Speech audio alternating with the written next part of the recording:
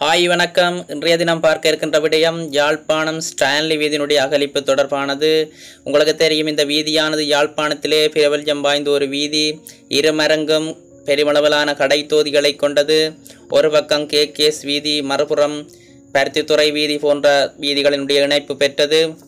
இந்த வீதியினுடைய அகலிப்பு தொடர்பான கலந்துரையாடல் ஒன்று இடம்பெற்றிருந்தது. இது மாநகர சபை முதல்வர் தலைமையில் இன்று இடம்பெற்றது. இதனுடைய கலந்துரையாடலுக்கு பின்னாக நேரடியாக கள விஜயம் மேற்கொண்டு இது குறித்த தரப்பினர் இந்த வீதியை பார்வையிட்டுள்ளனர். தொடர்ந்து இச்செயற்பாட்டுக்காக இடித்தகற்றப்பட வேண்டிய வர்த்தக நிலையங்கள் முன்னாய்த்த நிலைமைகள் தொடர்பாகவும் குறித்த குழுவினரால் மேற்பார்வை செய்யப்பட்டது.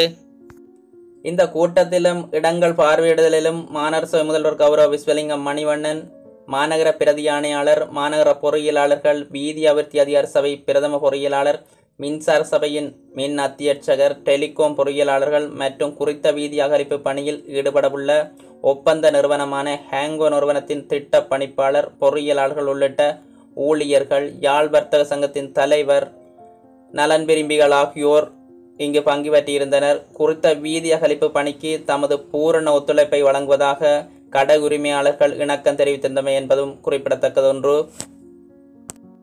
இந்த ஸ்டான்லி வீதியானது வீதியின் நடுவிலிருந்து இரு பக்கமும் எட்டு மீட்டர் அகலிக்கப்பட உள்ளதுடன் இவ்வீதியில் வாகன தரிப்பிடம் வாய்க்காலுடன் கூடிய நடைபாதை பெட்ரோல் நிலைய சந்தையில் சுற்றுவட்டம் என அமைய உள்ளது. குறித்த வீதி முறைப்பு பணியினை விரைவாக ஆரம்பித்து முடிவுறுத்தி தருமாறு மாநகர சபை முதல்வனால் விடுக்கப்பட்ட கோரிக்கை அனைவராலும் ஏற்றுக்கொள்ளப்பட்டிருக்கின்றது. எனவே இவ்வீதி புனரமைப்பு பணி விரைவாக ஆரம்பிக்கப்பட உள்ள நிலையில் இதனால் ஏற்பட உள்ள அசௌகரியத்தை பொறுத்து கொள்ளுமாறும் இதற்கு பூரண ஒத்துழைப்பு வழங்குமாறும் வர்த்தகர்களையும் பொதுமக்களையும் அன்புரிமையுடன் கேட்டுக்கொள்வதாக மாரசவி முதல்வர் தெரிவித்துள்ளார்.